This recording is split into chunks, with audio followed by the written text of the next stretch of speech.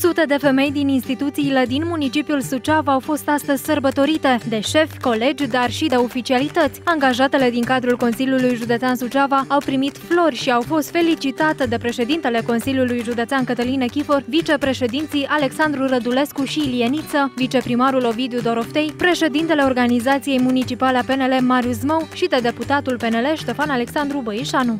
La mulți ani și primăvară. Sărbătorind o primăvară frumoasă.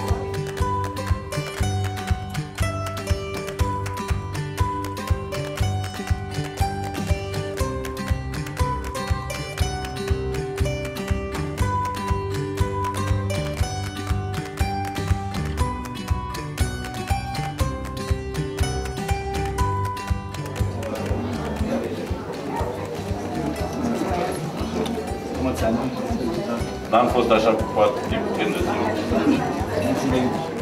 Mulți ani, așa pe scurt, foarte din suflet, foarte cu dragoste pentru dumneavoastră. E ziua de 8 martie și am vrut așa ca un mic simbol să vă oferim câte o floare și câte o prăjitură, un pahar de șampanie. Și vreau să vă mulțumesc pentru tot ce faceți în fiecare zi și la serviciu și în familie. Sunteți parte din doamnele și domnișoarele cele mai reprezentative de Suceava, cele care lucrați într-o instituție talon și țin în mod uh, neapărat să, să vă mulțumesc pentru ceea ce sunteți, ceea ce faceți. Probabil uh, foarte multe dintre dumneavoastră vă întrebați ce caut eu aici, nemai lucrând și nemai fiind colegul dumneavoastră, dar uh, aveam o datorie pe care n-am îndeplinit-o la momentul când eram coleg cu, cu dumneavoastră și anume acela de a vă cunoaște pe fiecare în parte și de a vă saluta.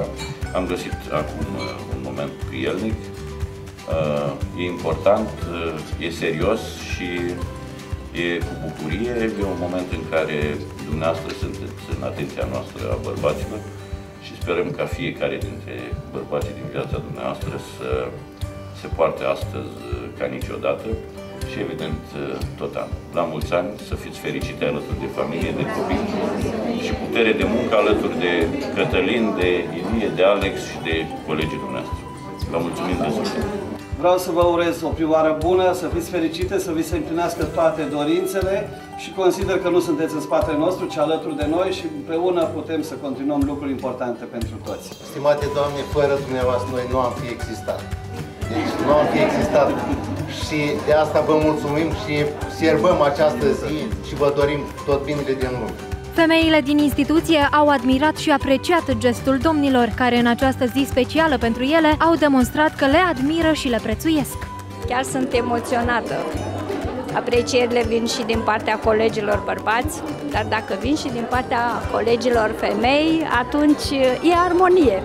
Ce reprezintă 8 martie pentru dumneavoastră?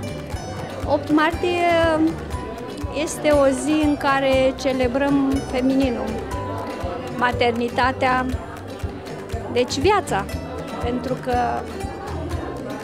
e, e un miracol dacă ne gândim că fiecare om de pe pământul ăsta are o mamă, da?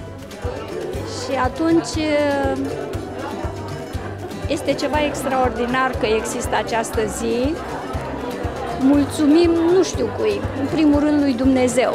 Și femeile din cadrul Casei de Asigurări de Sănătate Suceava au fost sărbătorite cu flori și multe urări și gânduri bune. Noi uh, v-am deranjat din uh, muncă, pentru că azi fiind 8 martie, am gândit că este un gest frumos din partea noastră. Astăzi, vă spunem la mulți ani. Primăvară frumoasă. Băieți, vă rog frumos, nu fiți uh, timizi. Ajutați-mă. Mai putem o dată, Iulius? bucurați și dumneavoastră de cele apropiate. Mulțumesc. Putem să dau și soției mele un buchet de flori.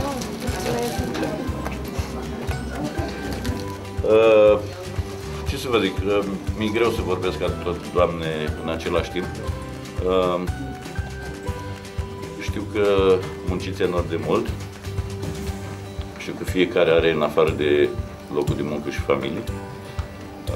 Uh, iar noi bărbați am fost șmecheri, odată pe an încercăm să ne spă- spălăm păcatele față de dumneavoastră. Nu știu dacă reușim, dar oricum uh, vă dorim multă sănătate, o primăvară frumoasă, alături de familie, de copii și să vă dea Dumnezeu putere să treceți peste toate greutățile și să fiți alături de noi aia care că stau în față, dar trebuie, trebuie să nu pierde de la spate. Uh, pe de altă parte, cu plăcere, pe de altă recunosc.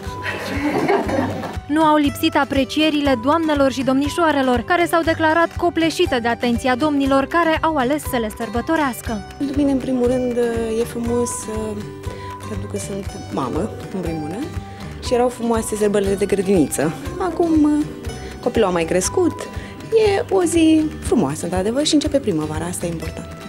Ca mamă reprezintă o continuare a ceea ce a făcut mama mea.